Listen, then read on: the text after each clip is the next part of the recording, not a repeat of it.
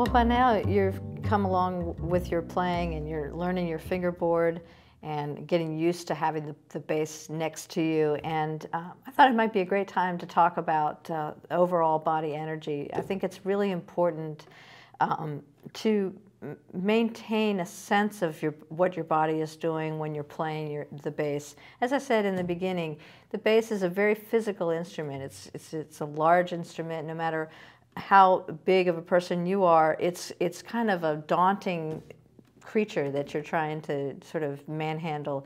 And so you want to you want to be aware of what's going on with your body as you try to get really good, strong notes out of this bass. And so in order to do that, you just want to, you know, keep your mindset open about what's going on and remind you again to keep your, your feet sort of firmly like planted on the, on the floor about shoulder width apart.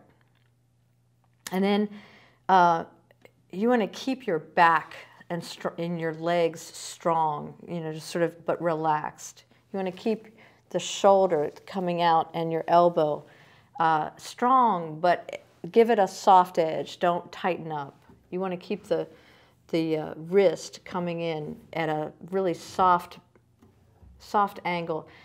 You know, tightening up and strength are two different things. You don't want to tighten up your muscles and have them peak out so that you can't use them anymore. But at the same time, they don't need to be, um, you know, just sort of hanging there. You just want you want to have a sense of uh, strength going on and keep your neck soft but in in control.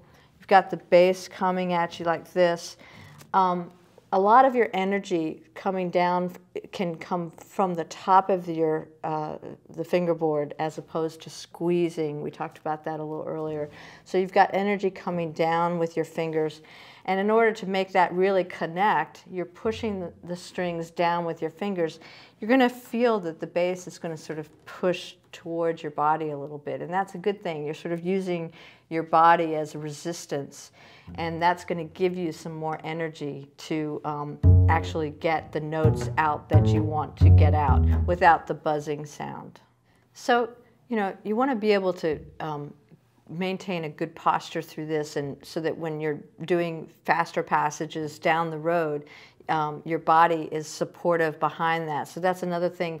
You want to also be able to be thinking about bending slightly at the torso the bass is, when you do this, naturally what happens is the bass sort of comes behind you. And this is a good thing for you to remember that kind of position. It's okay that the neck, the fingerboard is kind of disappears sort of behind your head. That's, that's a very natural thing. And as, as you develop your knowledge of the fingerboard, you won't need to be looking at it. So it'll, this will actually um, enhance your playing. So you're bending a little bit at the torso, but you want to still maintain a good posture.